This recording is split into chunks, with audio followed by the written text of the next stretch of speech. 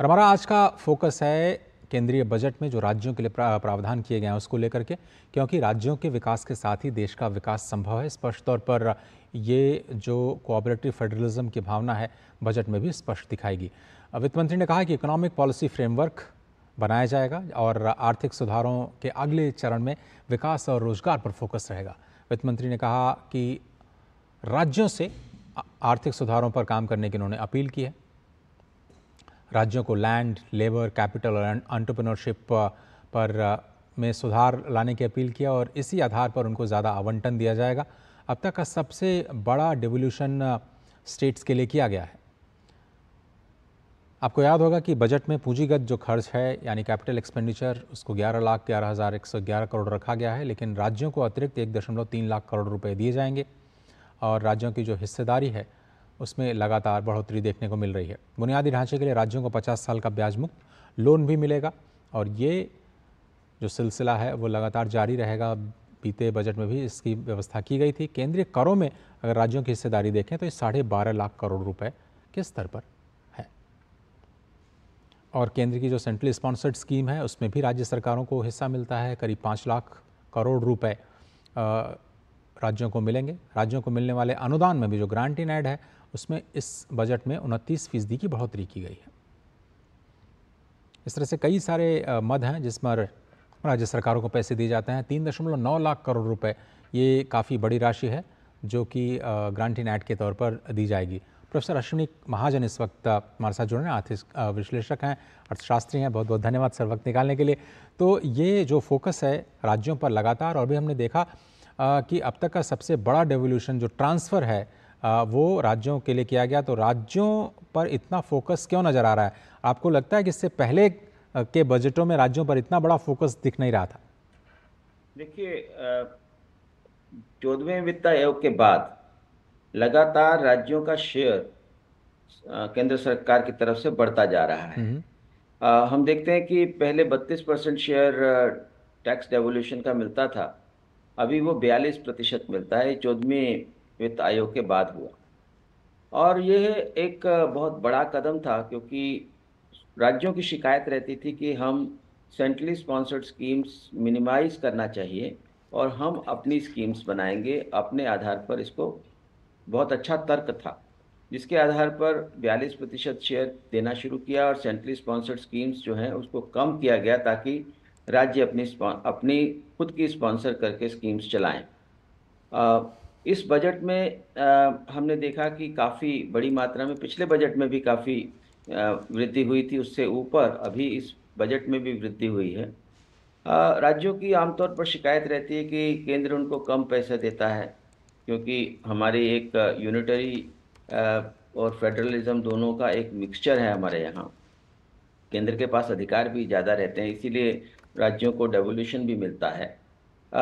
लेकिन हम देख रहे हैं कि पिछले समय में जो यहाँ पर सरकार इस बार भी दिया है, इससे पूर्व में भी सरकारों ने दिया और और इस मोदी गवर्नमेंट के आने के बाद लगातार राज्यों पर फोकस है और बार बार फ़िज़िकल फेडरलिज्म की बात के साथ साथ एक कोऑपरेटिव फेडरलिज्म की बात भी की जा रही है कि सब लोग मिल करके देश को विकास करने की तरफ़ आगे बढ़ें।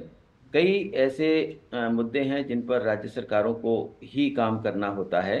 कुछ हद तक शिक्षा भी है बाकी कुछ कई ऐसे विषय हैं जो केवल राज्य सरकारों को करने होते हैं। हमारे यहाँ आप जानते हैं कि सेंटर लिस्ट है, स्टेट लिस्ट है कंकरेंट लिस्ट है, उसके कारण उनके कर्तव्य भी हैं और उन कर्तव्यों का वो ठीक प्रकार से निर्वाह कर पाएँ, इसलिए केंद्र से उनको अनुदान भी दिया जाता है अनुदान राशि भी दी जाती है इंफ्रास्ट्रक्चर के लिए भी पैसा दिया जाता है। जैसे आपने देखा कि 50 साल के लिए कर मुक्त टैक्स जो किसी भी प्रकार के इंटरेस्ट मुक्त जो है उनको लोन, लोन दिया, दिया जाएगा। जी सर। लेकिन लेकिन बड़ी बात यहाँ पर यह है मैं अजय जी यहाँ रेखांकित करना चाहता हूँ कि राज्यों को जितना ज़्यादा शेयर अभी मिलता जा रहा है उसका दुरुपयोग भी बहुत बड़ी संख्या में राज्य कर रहे हैं फ्री बीज को दे करके यह देश के विकास के लिए एक बहुत बड़ी बाधा है।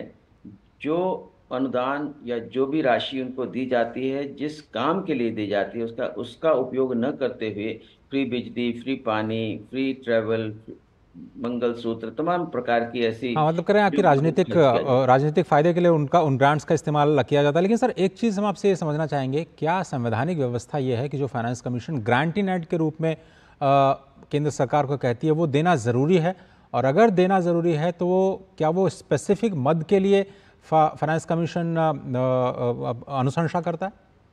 देखिए ये बात सही है कि फाइनेंस कमीशन की रिकमेंडेशंस होती हैं और उनको केंद्र सरकार को मान्य या अमान्य करना होता है।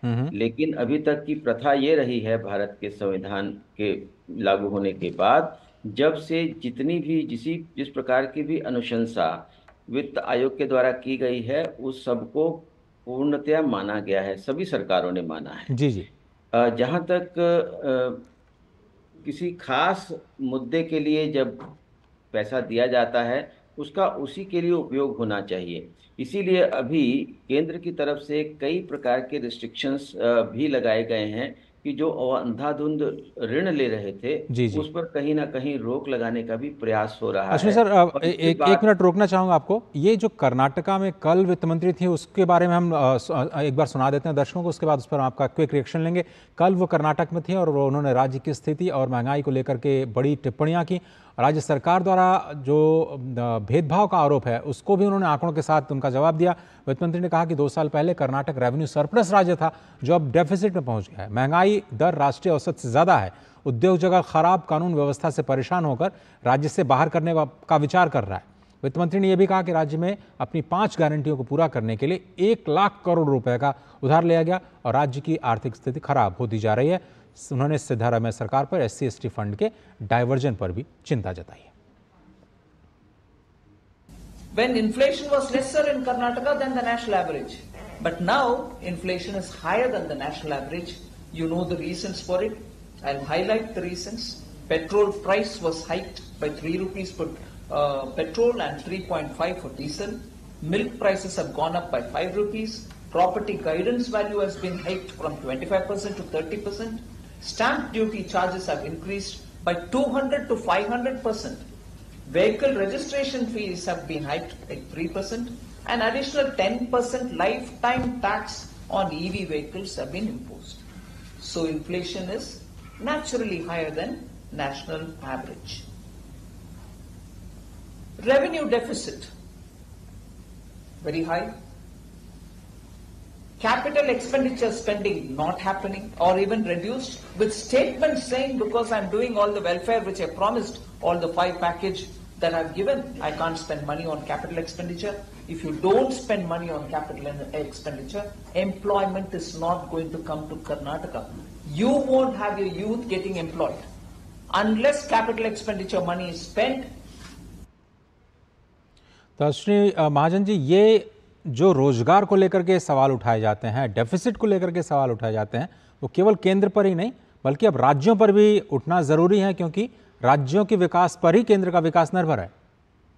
ऐसे आप ये देखिए कि जिन जिन राज्यों ने इस प्रकार से वित्तीय अनुशासनहीनता बरती है, उन सब राज्यों में कहीं ना कहीं अलग अलग प्रकार से नुकसान हुआ है। चाहे वहाँ की जनता को ज़्यादा कीमतें देनी पड़ रही हों, इन्फ्लेशन ज़्यादा हो गई हो या उद्योग वहाँ से बाहर हो रहे हों, या लोगों की बेरोजगारी बढ़ रही हो, या इंफ्रास्ट्रक्चर का निर्माण ना होने के कारण उस उस प्रांत का विकास ना हो रहा हो, ऐसा हमारे पास तमाम प्रकार के उदाहरण हैं। हमारे पास पंजाब का उदाहरण है, हमारे पास आंध्र प्रदेश का उदाहरण है हमारे पास कर्नाटका का उदाहरण अभी नया बन रहा है।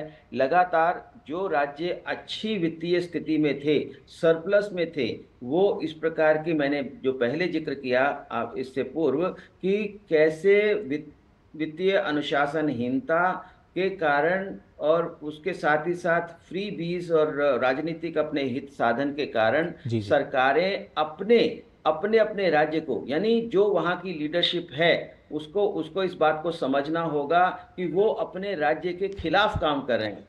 यहाँ संविधान की एक सीमा है कि संवैधानिक आधार पर उस राज्य को कितना पैसा दिया जाता है बजट की भी एक सीमा होती है। भारत में अभी 48 लाख करोड़ रुपए का बजट है उसको आप 100 लाख करोड़ रुपए का नहीं कर सकते हैं। सभी राज्यों की आवश्यकताओं को पूर्ण नहीं कर सकते हैं। कई राज्यों के वित्त मंत्री बार बार इस बात को कहते हैं कि सर हमारा हमारी वित्तीय हालत खराब है केंद्र सरकार हमें मदद नहीं करती है। लेकिन एक काउंटर क्वेश्चन उसी समय आता है कि ये वित्तीय हालत खराब कैसे हुई? उसके बारे में जानकारी लीजिए। आज पंजाब की मैंने अभी अध्ययन किया था पंजाब की जो इंडस्ट्रियल पोजीशन है एक एक समय में एक औद्योगिक राज्य माना जाने वाला आज वहाँ से सब लोग पलायन कर रहे हैं वहाँ के उद्योग। क्योंकि सही कहा महाजन आपने मेरे पास वक्त कम है। लेकिन आपने बिल्कुल सही कहा अड़तालीस लाख करोड़ रुपए में तेईस लाख करोड़ रुपए से ज़्यादा तो राज्यों को दिए जा रहे हैं। इसलिए राज्यों की ज़िम्मेदारी विकास की इस कहानी में कदम ताल करने की ज़रूरत है। वक्त मेरे पास इतना ही है, लेकिन किसी और दिन हम राज्यों पर, ख़ास तौर पर जो आपने फ्रीबीज की बात की, उस पर हम ज़रूर चर्चा करेंगे। फ़िलहाल आपका बहुत बहुत धन्यवाद वक्त निकालने के लिए। तो आगे बढ़ते हैं और इकॉनमी टुडे की पूरी टीम को आपको इजाज़त देना होगा इस वक्त। फ़िलहाल डी न्यूज़ पर खबरों का सिलसिला लगातार जारी है, लेकिन आपको हम छोड़े जाते हैं कारोबार जगत।